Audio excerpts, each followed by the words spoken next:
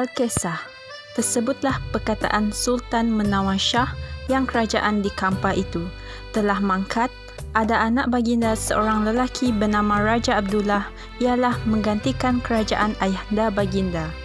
Setelah itu, Sultan Mahmud Shah menjadikan Raja Abdullah sebagai menantunya dan menobatkan Raja Abdullah sebagai Sultan Abdullah Shah.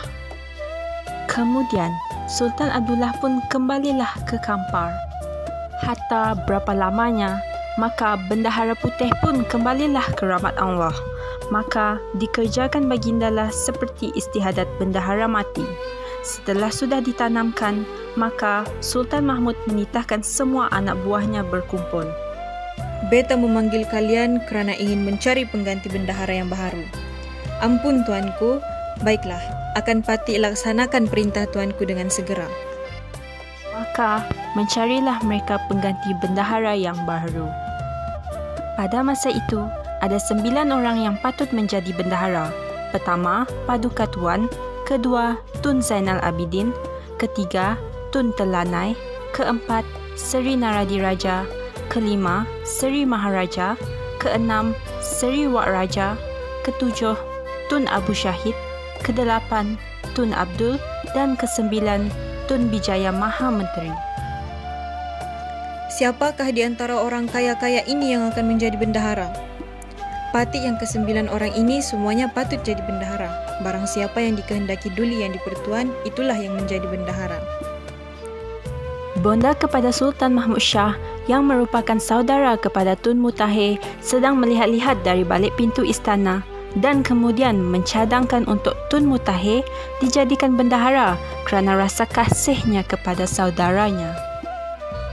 Tuan, Pak Mutahirlah kata jadi bendahara.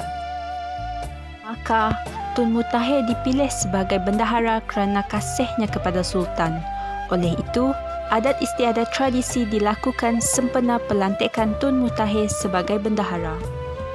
Setelah Seri Maharaja menjadi bendahara, bergelar bendahara Sri Maharaja, maka negeri Melaka pun makin makmurlah lagi dengan ramainya kerana sikap bendahara Sri Maharaja yang baik budi pekertinya, adil dan saksama. Sebelum bendahara berlayar berdagang, rakyat Melaka pun bersorak gembira untuk bendahara kesayangan mereka. Selamat bendahara Melaka, bendahara Sri Maharaja. Orang berbayu to, berbayur. Bendahara Sri Maharaja seorang yang besar kuasanya berbanding bendahara yang lain. Namun, ia duduk di balai di hadapan orang beralaskan tika inai di atas sejadah.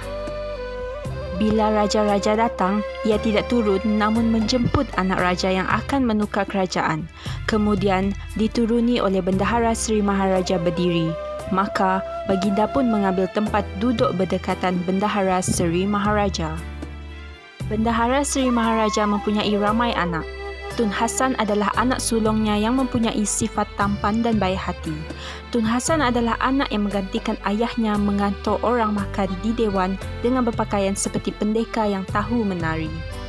Tun Hasan juga pandai mengubah suai baju Melayu dengan membesarkan pangkal tangan baju dan memanjangkan tangan baju yang dahulu kecil.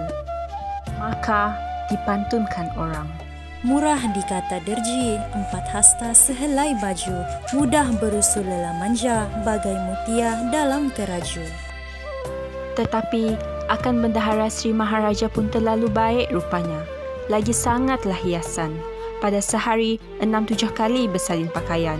Baju pelbagai rupa dan warna, testa semuanya sudah dipakai belaka. cermin besar setinggi berdiri satu. Apabila Bendahara Sri Maharaja sudah berkain, berbaju, berkeris dan bersebai, lalu naik duduk di buayan, maka Bendahara Sri Maharaja pun bertanya kepada istrinya. Destar mana yang patut dengan kain baju beta ini? Destar itulah yang patut. Maka, barang yang dikata bendahara perempuan itulah yang dipakai oleh Bendahara Sri Maharaja. Al-Kisah, sekali persetua, Bendahara Sri Maharaja duduk di hadap orang banyak. Maka kata Bendahara Sri Maharaja pada segala orang yang menghadap ia itu. Mana baik hamba? Mana baik si Hasan? Baik juga Datuk daripada Nakanda. Salah kata tuan hamba itu, kerana hamba pun ada bercermin. Pada mata hamba, baik juga si Hasan, kerana ia orang muda, tetapi termanis hamba sedikit. Maka sahut segala orang yang banyak. Sungguhlah gerangan seperti sabda Datuk itu.